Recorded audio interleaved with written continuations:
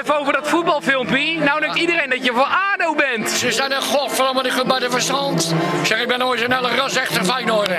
Maar waarom zeg je dan 4-1 voor ADO? Ja, er moest ook gespeeld worden, ofwel in de kweek. Hè, dat is gewoon, er moest gewoon gespeeld worden. Zeg, ADO, ik zeg, ja, ik vind het een gal van die jongens, hoor, daar gaat het niet om. ADO ook, want ik heb er geen hekel aan die jongens. We komen veel ben gewoon een ras, echte Feyenoorder. Van Rotterdam-Zuid. Hè? En mijn kinderen zijn ook allemaal uh, van Feyenoord. En ik zelf ook. Het is allemaal klein zo, dus Rotterdam van Feyenoord. Dat is anderhalf jaar.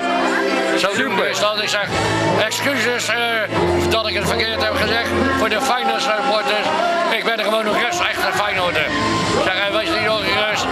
Ik zeg, aardig vind ik aardige jongens en alles. Maar ik ben geen ADO-vriend. Maar er moest gespeeld worden in, de, in die film. Waarom?